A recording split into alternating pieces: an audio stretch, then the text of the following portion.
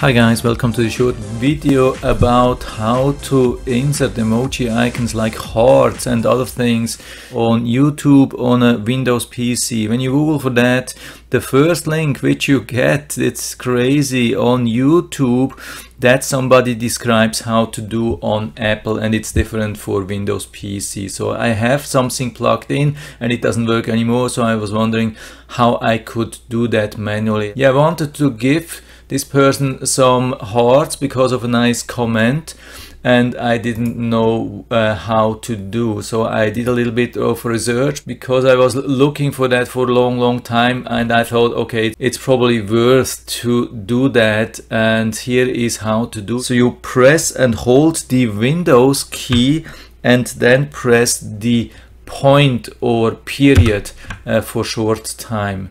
So this is how uh, I did and then you can uh, do all the things you can add all the emojis you want.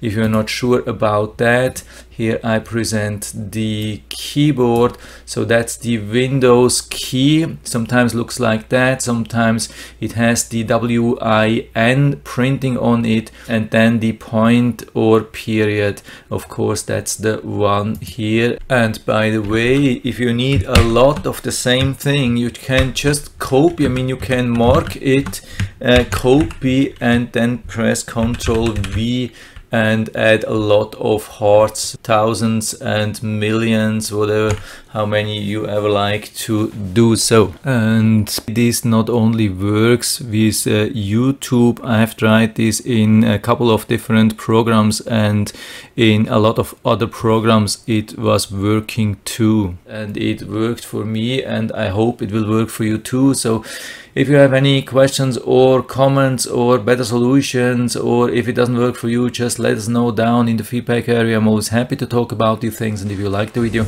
give me a thumbs up, subscribe my channel. Thanks for watching and see you next time.